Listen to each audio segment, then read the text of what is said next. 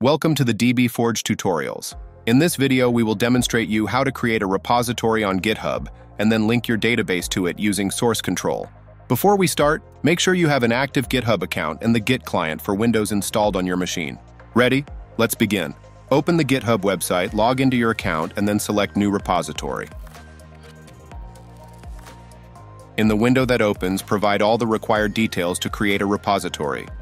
Once done, click Create Repository. Next, you need to create an empty folder on your computer where the local repository will be stored. Now you are ready to clone the repository from GitHub to your computer. On github.com, navigate to the main page of your repository and click Code.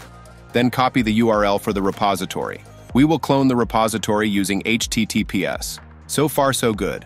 Now open Command Prompt and change the current working directory to the location where you want to place the clone directory.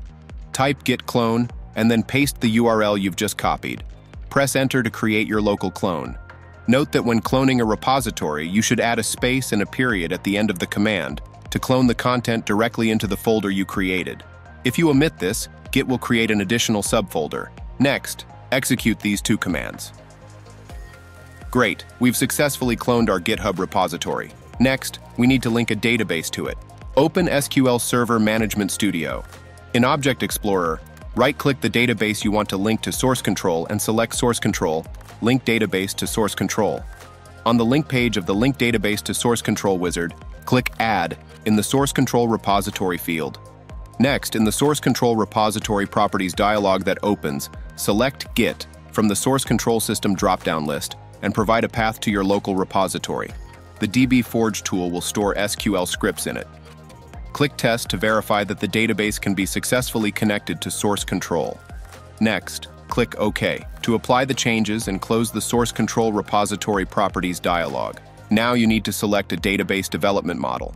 We select the dedicated model, under which developers work on their own local copy of the database and later commit changes to a centralized repository.